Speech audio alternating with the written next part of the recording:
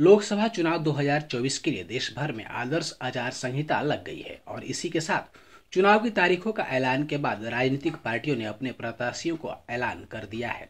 Surguja Lok Sabha seat तो काफ़ी समय से भाजपा के पास है ही। उसे अपने पाले में लाने के लिए कांग्रेस ने यूथ चेहरे पर दाव खेला है। प्रेमनगर टाइगर के नाम से मशहूर दिवंगत कांग्रेस नेता एवं पूर्व मंत्री तुलेश्वर सिंह की बेटी सुश्री शशि सिंह को कांग्रेस ने अपना प्रत्याशी बनाया है। हालाँकि तुलेश्वर सिंह कांग्रेस में रहे, फिर दूसरे दलों में गए और फिर कांग्रेस में आए हैं। उनके निधन के बाद उनकी पुत्री शशि सिंह क्षेत्र में सक्रिय हैं।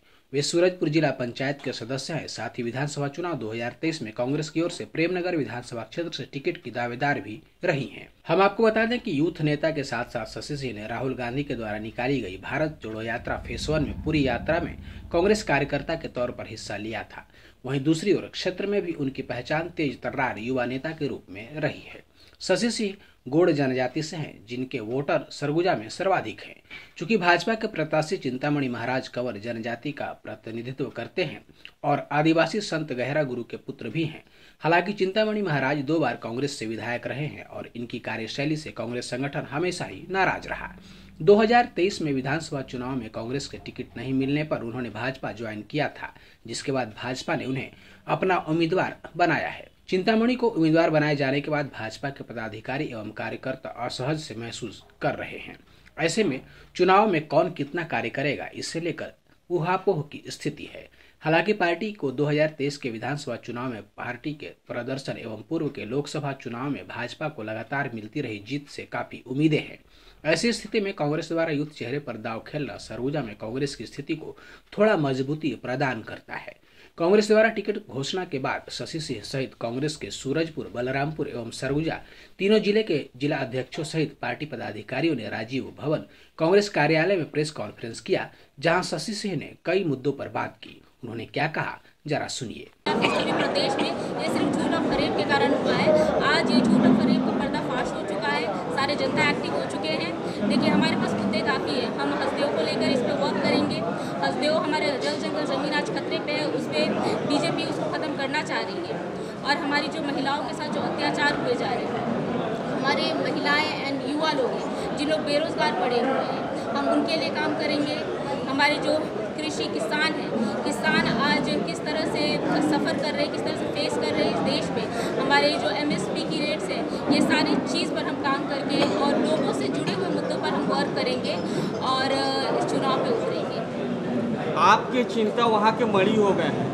आप ही के दल से गए हुए हैं। कितना चुनौती मानती हूँ उनको लेकर? मैं चिंतामणि जी को चुनौती तो नहीं मानती हूँ पर चुनौती मेरे लिए है। मेरा पहला चुनाव है चुनौती मेरे मानकर इस चुनाव को मैं लड़ूँगी। और मुझे पूरा विश्वास है कि इस चुनाव को हम बहुत ही अच्छे वोटों से जीतेंगे क्योंकि हम सब मिलकर इस चुनाव को लड़ेंगे। और बिल्कुल इसमें कोई शक नहीं है कि आ, कि हम हार रहे हैं हम हंड्रेड परसेंट जीत रहे हैं। कांग्रेस में हमेशा, विधानसभा में भी हमेशा गुटबाजी देखा गया है। क्या सभी लोगों को एक कर पाएँगे? कांग्रेस पार्टी एक हो चुकी है, गुटबाजी की बात बिल्कुल ख़त्म हो चुकी है। हम काफ़ी दिन से घूम रहे हैं, हमारे कार्यकर्ता सब लोग मिलकर घूम रहे हैं और सबने कह दिया है कि गुटबाजी कुछ पहले भी नहीं था, मुझे नहीं लगता पहले भी था। आज हम हर एक एक कोई मिलके इस चुनाव को लड़ने वाले हैं। आ, मुझे नहीं लगता हमारे सरगुजा में ऐसी कोई गुटबाजी है छत्तीसगढ़ में ऐसी कोई गुटबाजी है जिसके कारण हम आ, कुछ फेस करना पड़ेगा। एक तरफ़ मोदी की गारंटी है दूसरी तरफ़ राहुल की न्याय यात्रा। कहाँ तक क्या लग रहा है कितना न्याय मिलेगा आपको? बिल्कुल मोदी की गारंटी की कोई गारंटी नहीं है। एक छोटी गारंटी है उसकी हम नहीं पूरा देश देख रहा है और हर कोई समझ रहा है। राहुल जी का न्याय यात्रा भारत जोड़ो यात्रा से जो शुरू हुआ, वो न्याय यात्रा तक खत्म हुआ नहीं। न्याय यात्रा चल रहा है, भारत जोड़ो यात्रा भी चल रहा है। और राहुल जी जो काम कर रहे हैं, वो मुझे नहीं लगता देश का कोई भी लीडर आज तक कर पाया होगा। क्या मोदी जी एक किलोमीटर भी अगर चल के दिखा दे अपनी जनता के लिए तो मैं मान जाऊँ?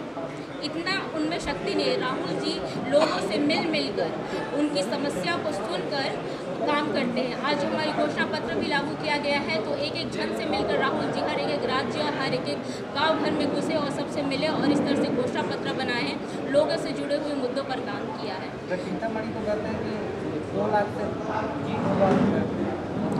चिंतामणि जी की बहुत बड़ी गलत फहमी है। उनको चिंता करना ही पड़ेगा इसके लिए कि वो दो लाख से जीत रहे हैं। मैं पूरा विश्वास दिलाती हूँ, इस बार कांग्रेस पार्टी ही सरगुजा में जीतेगी। जी। कांग्रेस पार्टी ने मुझको भरोसा दिलाया इसके लिए तो मैं धन्यवाद देना चाहूँगी। और मुद्दे हमारे पास एक नहीं, अनेक हैं। लेकिन मैं ज़रूर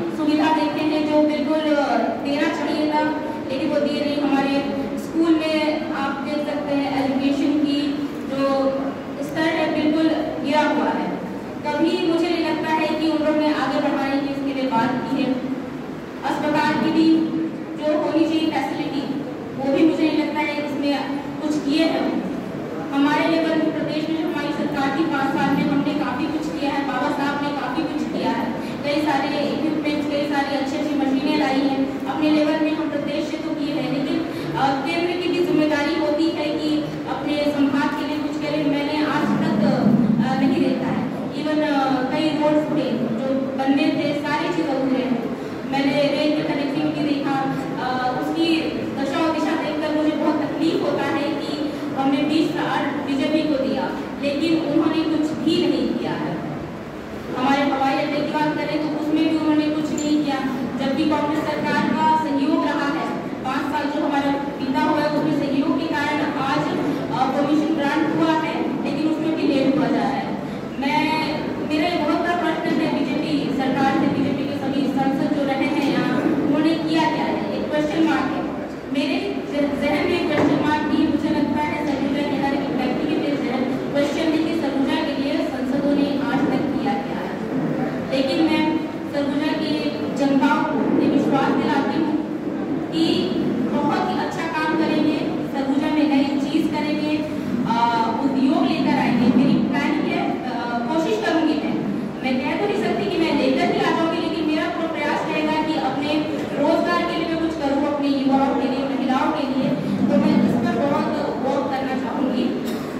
और जितने भी मुद्दे होंगे सरगुजा के मैं लोकसभा पे उठाऊँगी।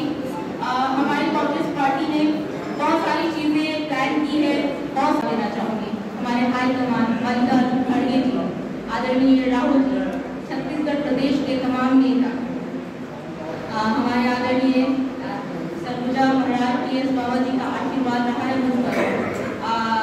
बहुत बहुत धन्यवाद देना चाहूँगी। आदरणीय भूपेश बघेल जी, आदरणीय चरण करने की तो सभी का सपोर्ट रहा है तो आज सरगुजा में पहली बार एक महिला को और एक यूथ को मौका मिला है।